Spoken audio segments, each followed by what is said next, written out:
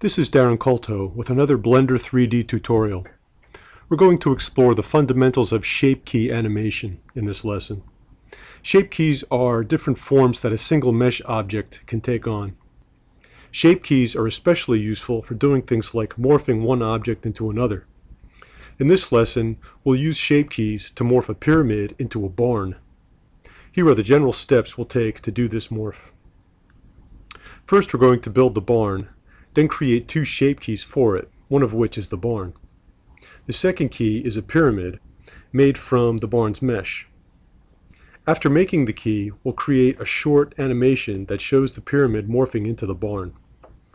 Now let's get started by first making a ground plane for the pyramid and barn to sit on. Open Blender, then drag the cube's blue axis up while pressing Ctrl until the bottom of the cube is even with the grid. This step raises the cube to ground level. Click the Add menu heading, then click the Plane item of the Mesh submenu. This adds a plane to the scene to represent the ground under the barn and pyramid. Click the Scale button located on the header of the 3D view window, then click inside the white circle at the center of the plane.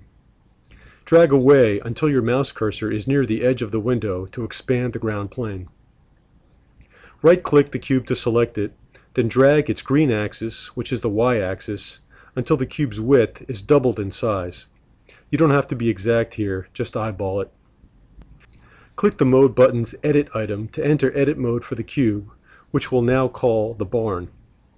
Press A to deselect everything, then click the Face Selection button on the 3D View's header. Right-click the barn's top face to select it, then press E, followed immediately by pressing Enter. Pressing E runs the extrude command, which tells Blender to create a second top face directly above or below the original one. Click the mouse inside the white circle, then drag away just a bit before releasing the mouse. This forms the base of the barn's roof. Press E again to run the extrude command a second time.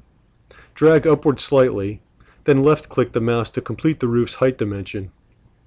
Click the Mesh menu then click the Merge command of the Vertices submenu. Click the option that reads At Center to join the four corners of the top face together at the center of the face to form the roof's peak. This completes the barn. Now we'll reserve two shape keys for it. Click the Mode Controls Object item to leave Edit Mode and re-enter Object Mode. Click the triangle-shaped icon in the header of the Properties sidebar at screen right to open the Object Data context. Click the plus sign in the Shape Keys panel twice to reserve two shape keys.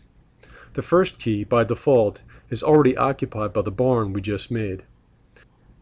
The second key will be taken up by the pyramid we're going to make now from the same set of vertices that form the barn. Keep in mind that the morph won't work if we add or delete any vertices from the barn. We can only manipulate the existing vertices of the barn's mesh. Type the word pyramid in the name text box under the Shape Keys panel to give the second key a tag that will remind us of the form that this key will hold. Re-enter Edit Mode by clicking the Mode Controls Edit item, then press A to select the entire barn. Click the Scale button, then drag the green arrow toward the barn's center until the barn's width shrinks down to about the same size as its depth, then release the mouse. This step makes the pyramid's base squarish in contrast to the barn's rectangular base.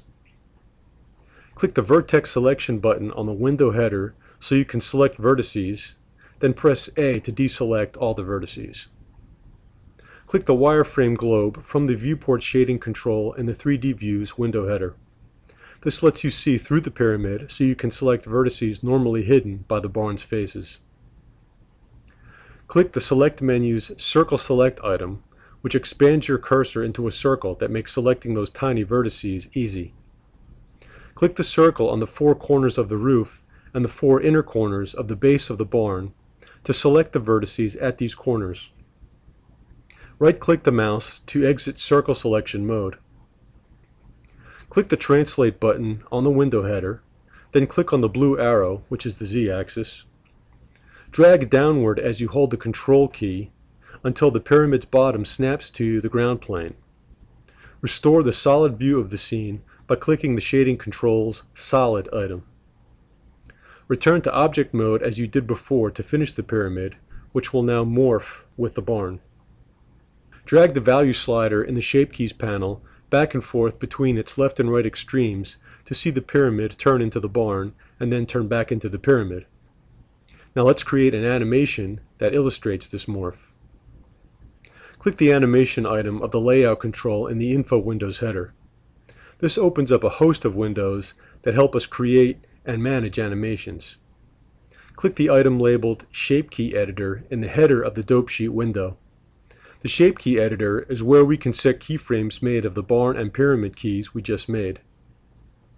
Drag the slider labeled Pyramid to its extreme right so its value shows 1.0. If you were watching the 3D viewport while you dragged the slider, you noticed the pyramid forming while the barn vanished. Type 100 in the current frame control at the very bottom of the timeline window to advance the current time indicator to frame 100. Type 100 also in the final frame control immediately to the left of the current frame control. This tells Blender that the animation ends at frame 100.